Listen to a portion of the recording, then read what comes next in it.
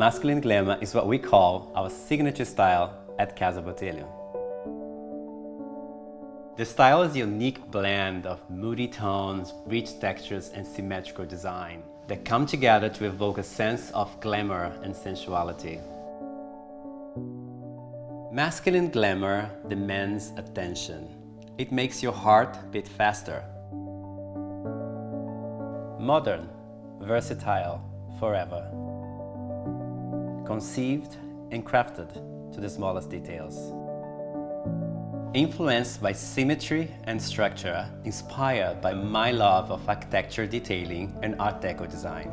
We add our own splendor to create a luxurious industrial chic style. For me, there are no rules. It's about style without boundaries, design without limits. Casa Botelho, a new kind of glamour.